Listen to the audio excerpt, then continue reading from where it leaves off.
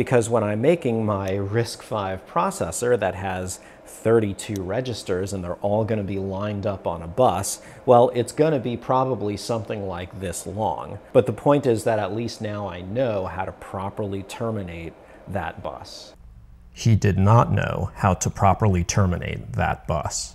It's chip tips, chip tips. I have no music and I can't sing.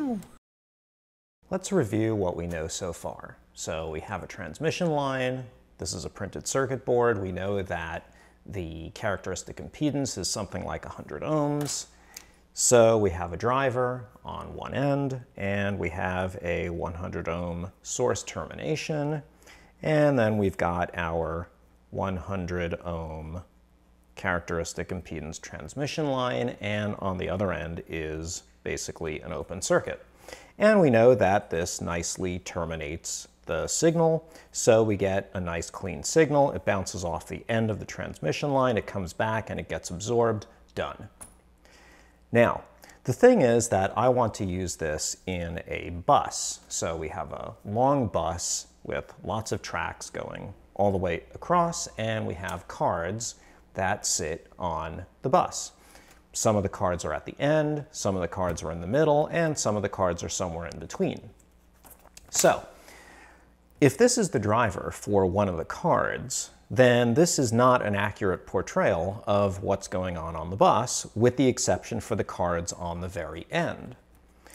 So, first of all, let's suppose that we had another driver that does exactly the same thing, and it's also terminated. It feeds another transmission line. It's also 100 ohms, and they're both doing exactly the same thing. They, they are both source terminated with 100 ohms. So basically I'm taking one of these and I'm taking, you know, like another one of these and I'm putting them together. So the driver is basically sitting right in the middle of the bus and the ends are open circuit. Well, if these drivers are doing exactly the same thing and these transmission lines are doing exactly the same thing, then at any time the voltage at this point is identical to the voltage at this point. And if we have two nodes with identical voltages, you can simply connect them because, well, there would be no current flowing because there's no voltage difference. And since this is basically doing exactly the same thing, we can also coalesce those drivers. And so these two nodes are connected. And finally, because we've got these two resistors now in parallel, we can simply make this as the equivalent resistor. And there's the equivalent driver. So this is the driver sitting in the middle of the bus. This is our source termination. And basically we have one side of the bus going off in that direction and the other side of the bus going off in the other direction. So we can see that to terminate a card on the end of the bus properly, we would need a 100 ohm source termination.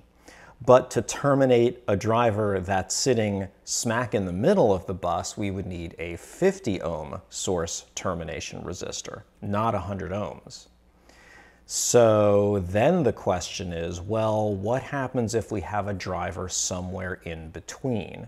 So if this is our bus, and we know that at the ends, we have to use 100 ohms. And in the middle, we know that we have to use 50 ohms. Then as we vary the position smoothly between the midpoint and the endpoint, that resistance also has to change smoothly from 50 ohms to 100 ohms. Now, we don't exactly know how that resistance is going to change. Does it go smoothly and monotonically from 50 to 100? Does it go up and then down? Does it go down and then up? We don't know. And that's why I have another test board. So with this test board, I have this chip. It's physically in the middle of this board. However, I have 60 centimeters equivalent over here because of these um, zigzaggy traces, and I have 90 centimeters over here. So basically this is not sitting in the middle, it's sitting closer basically to this end. So Let's see what happens when I use just the plain old 100 ohm resistor. Okay, so the setup is the same as before. I have a buffer over here, and I have my square wave generator feeding the input to this buffer, and the output of the buffer goes to a 100 ohm source termination resistor, and we've got 60 centimeters on one side and 90 centimeters on another side. So uh, first what I'm going to do is I'm going to take a look at what's going on on the 60 centimeter side. Okay, so here's what's happening on the 60 centimeter side. So remember that uh, at the time that we detect the uh, waveform, the waveform has already hit the end. So if I pull up my cursors and move one of them to approximately where the waveform starts, and we can see that we hit the end up here. Oops, go away, go away. So we hit the end over here. Here, let me get a pointer. And immediately the waveform rises up to, it looks like around 2 volts. And then it sort of uh, slowly goes up, it goes down a little bit, and then it goes back up to, well, it looks like about 3.3 mm, volts. It, you know, jiggles around a little bit, but in any case, um, if we take a look at maybe, I don't know, when that voltage starts to dip, maybe, um, we get a difference of 7.6 nanoseconds. Now, we've already determined that the wave on this printed circuit board goes something like um, 18 centimeters per nanosecond. Um, it's a little faster than half light speed. So if we see how long 18 centimeters is over 7.6 nanoseconds, that's um, 136, well, let's call it 140 or so centimeters. So clearly, something happens 140, uh, 140 centimeters later. So here's maybe what I think is going on. So by the time the wave hits 60 centimeters over here, the wave has also hit 60 centimeters on the other side. So that's our starting point. Now, this wave goes 30 centimeters, and then it comes back to here 120 centimeters. And then, you know, if it goes past this resistor, then it would have to go an additional 60 centimeters to 180 centimeters. So that's clearly not what's going on. So maybe what is going on is the wave over here goes 60 centimeters over to the termination resistor and then bounces off of it for whatever reason and comes back. That's about 120 centimeters. So that's a little closer. So maybe that's what's going on over here. What is clearly not happening is that the bounce is not getting fully absorbed by that 100 ohm termination resistor, which we expected because of our intuitive exploration of what happens with a driver in the middle of a termination line. Nevertheless, this is a reasonable wave. Now let's take a look at what happens on the other end. This is the 90 centimeter end. Okay, so that's what's happening at the 90 centimeter end. Now again, we've got one cursor um, right at the very beginning of the wave, we can see that it goes up to about 2 volts, which again would be expected. Um, actually, what that means is that we've probably got a 1 volt wave floating this way, and then when it bounces off, it doubles, so that means that we get 2 volts over here. And then it seems to slowly creep up, and then it starts bouncing around like crazy. Uh, let's take a look at where that peak is. So that peak is 3.7 volts. That's not great.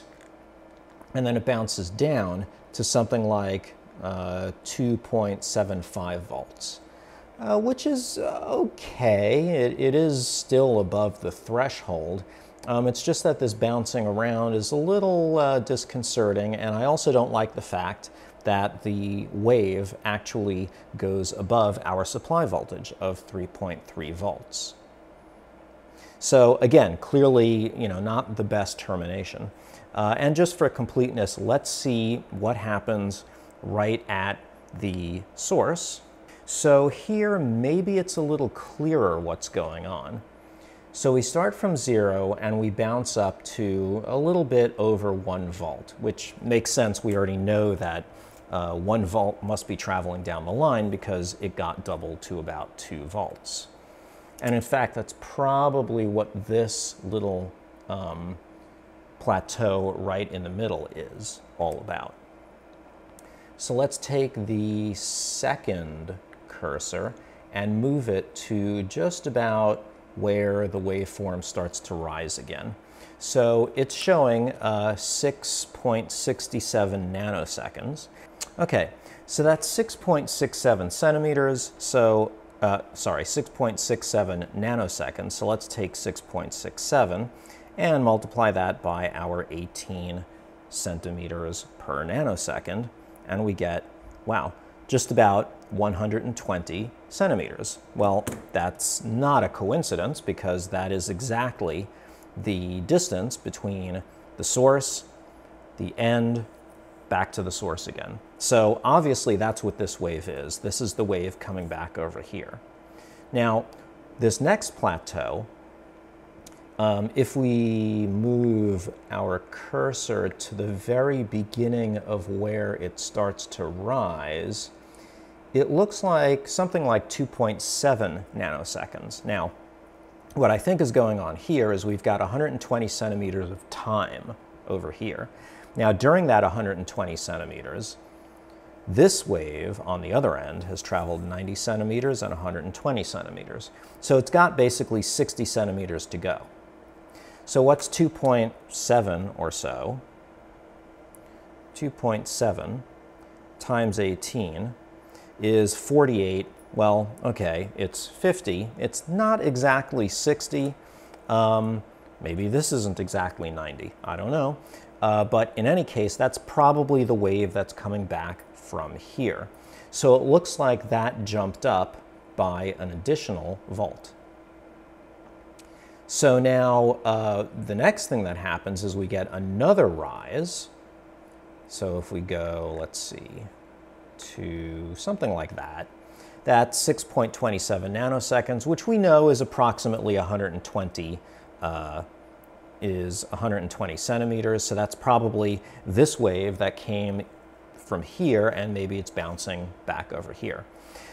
So the thing that I want to really point out, and the takeaway from this, is that, again, without a proper source termination, you're going to get waves sloshing back and forth between the ends of the transmission lines.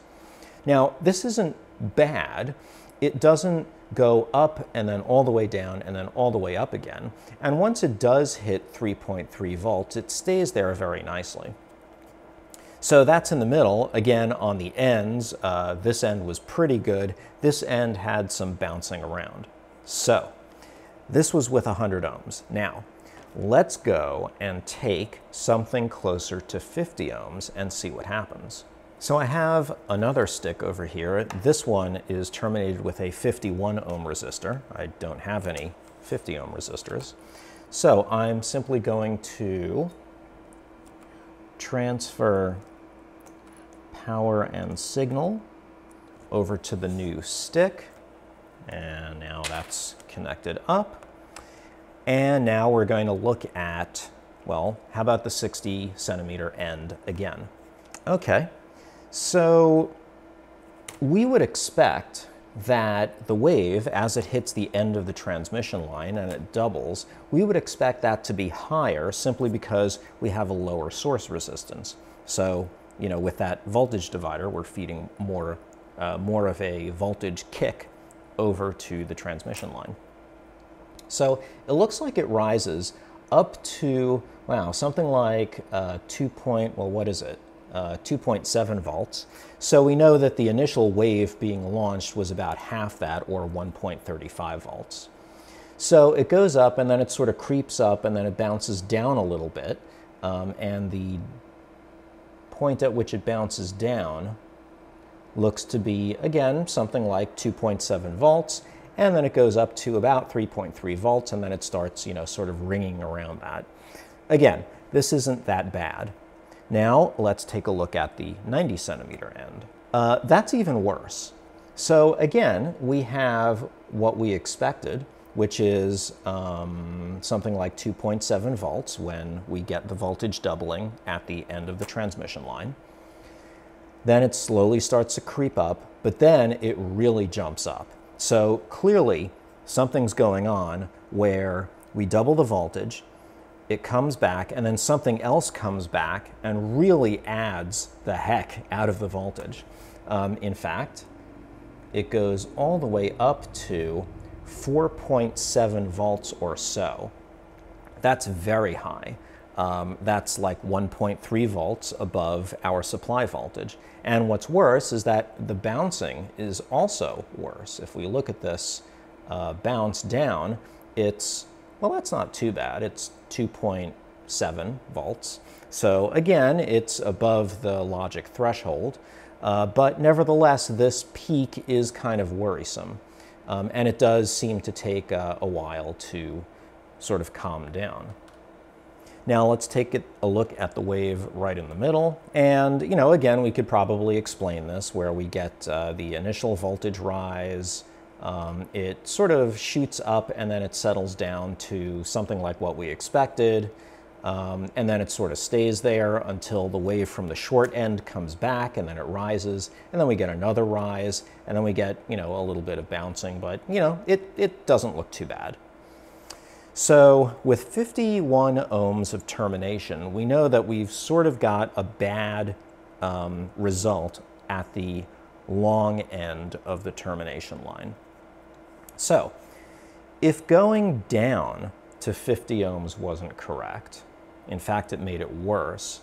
What happens if we go above the original 100 ohms? So what I have here is another stick that I've prepared. And if I measure, it's 200 ohms. So I've got a 200 ohm resistor over here. So again, let's take a look at the wave and see what we get. So why don't we go right to the um, worst point, which is the long end. So this is interesting. Um, it's certainly not going above the supply voltage, which certainly is a good thing. So when we start, we see an immediate rise to, uh, it looks like about 1.2 volts or so. Uh, so we know that uh, the wave being launched was about half that, which is something like 0.6 or 0.7 volts, which again makes sense because our uh, source termination is a lot higher. Then it kind of creeps up and then it jumps up again, um, just about by the same amount. Uh, now we're at something like uh, 2.4 volts or 2.5 volts. Then it droops down to 2.2 volts or so. Uh, and then it goes up to something like 3.1 volts, and then it sort of bounces around a little bit. Um, in fact, it doesn't seem to rise uh, to 3.3 volts, but that's okay. At least it's above the logic threshold.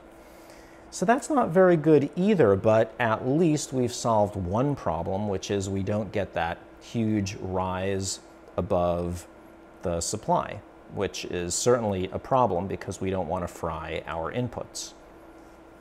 Now, granted, the inputs of most logic chips are protected by diodes, but you don't really want to rely on that protection. That's, that's not for um, extended use. Let's take a look at the short end. And here's what we see on the short end. Again, we see the usual doubling rise. It stays there for a little while, rises again, stays there for a little while, rises again, and it you know slowly makes its way up to 3 volts, or 3.3 volts. So again, this is an okay termination. It's not really ideal. And what it seems to be doing is stretching out the wave. So it's actually taking longer for us to get to its final state. So what do we do? Well, we know that 50 ohms is too low. 200 ohms is clearly too high. We know that for a driver that is not in the middle, but probably somewhere over here maybe, we want something between 100 ohms and 100 and 200 ohms. So let's just call it 150 ohms. So if we were to graph the resistor that we would want, at the end, at the very end, we would want 100 ohms. At this end, we would want 50 ohms, so that's here. And then somewhere maybe over here, we would want, say, 150 ohms. So that would be like this. So it looks like we're getting a curve maybe like this, and then it would probably do this. Unfortunately, we do not want to use a different resistor for every single card along the bus.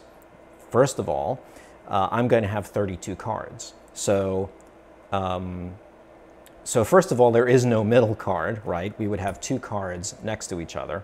Um, so we would have 16 on one side, 16 on the other side. So we would basically have 16 different values of resistor. Now, the second thing is that that means that every card could fit in only one of two slots, or two of the 32 slots, and you would have to get that right, otherwise you wouldn't have a correct termination. So one possibility is to simply choose a middle value.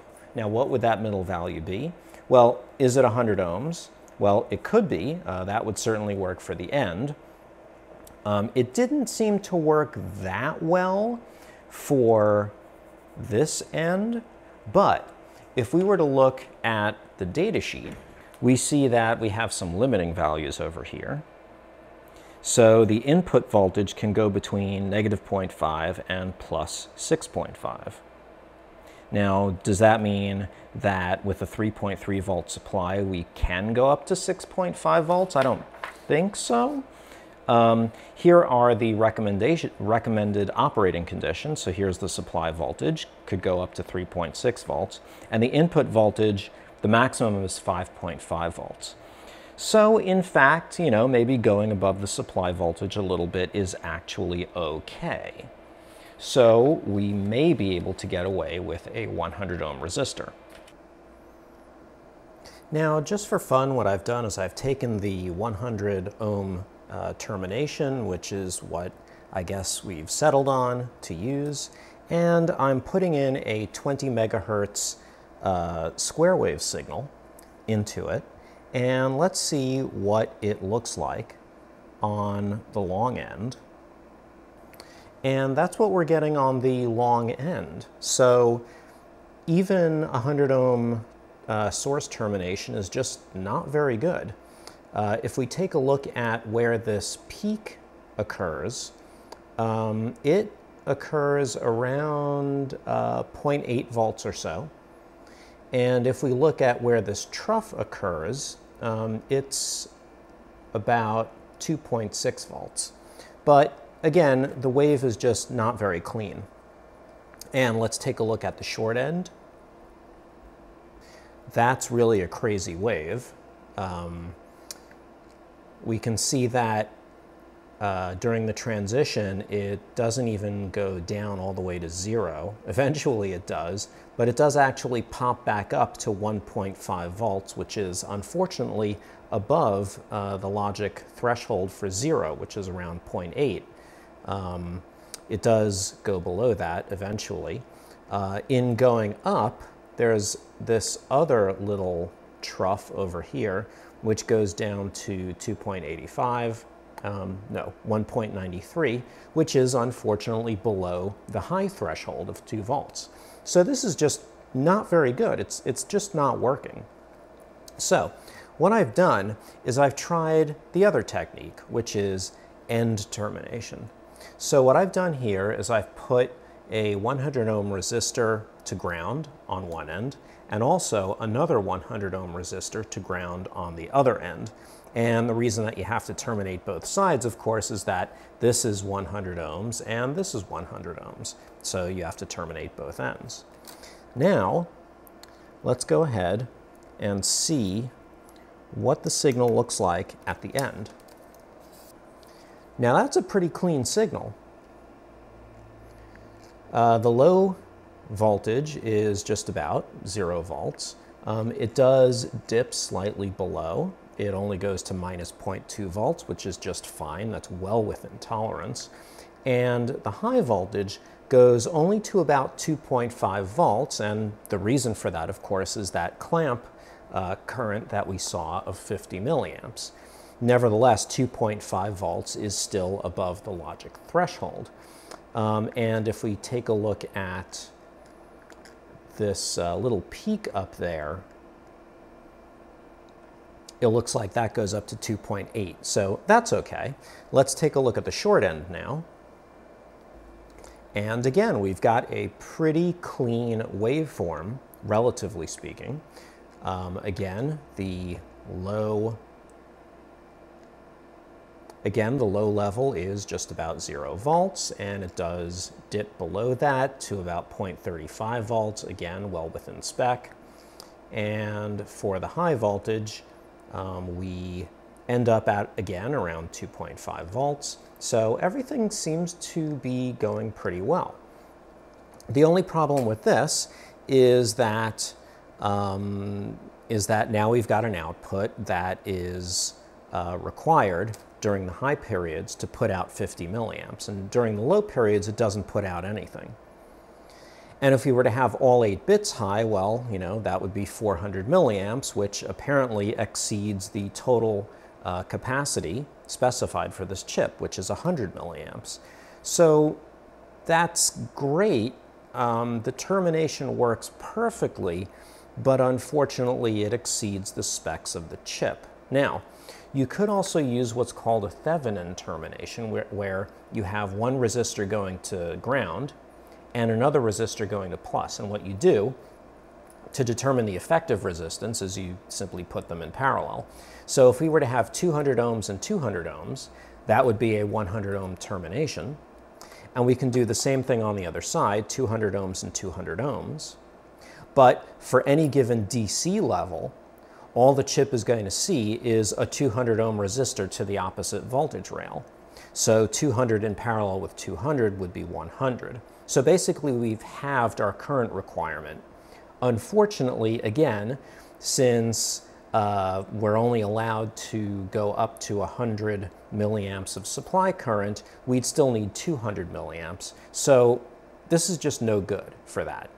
Uh, I suppose I could only use maybe half the chip, but that would be a real waste considering that I need 32 bits, and if each of these chips is 4 bits, then I would need 8 of these chips.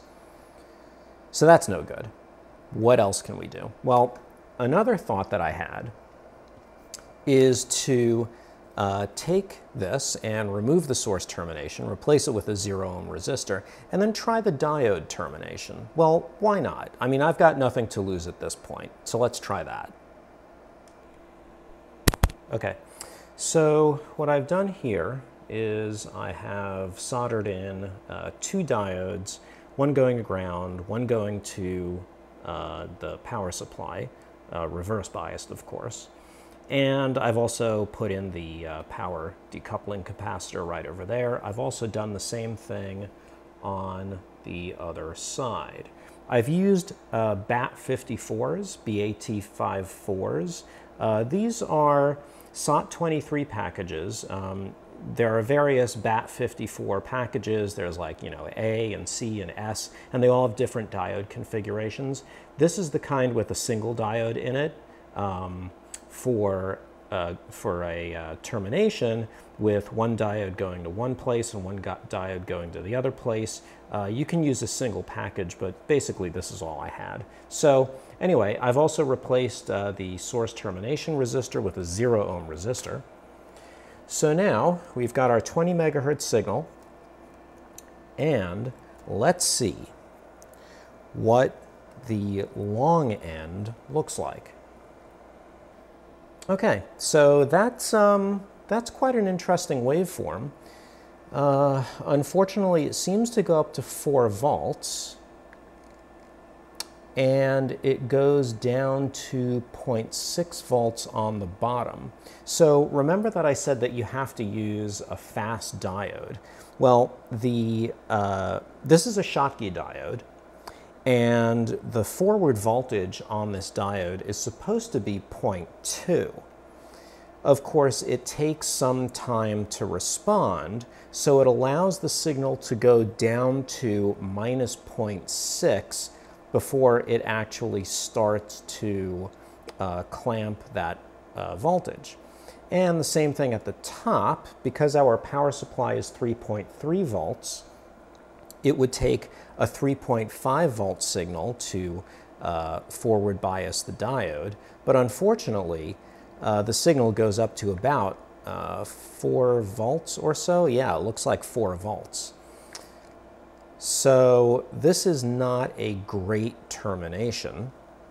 Let's take a look at the other side. Yeah, and that's got some bouncing in it. So that's not great either. Uh, we've got a trough of minus 0.8 volts or minus 0.86 volts, and the high up here again is uh, 4 volts or so. Nevertheless, it is a better signal than the, uh, than the 100 ohm source terminated signal.